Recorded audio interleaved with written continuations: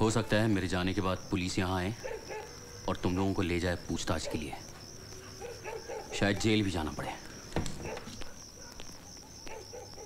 टूटोगे तो नहीं?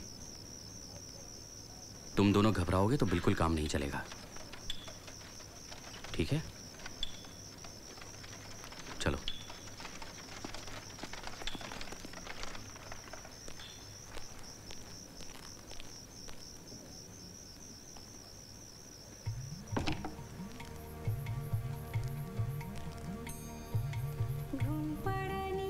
she be?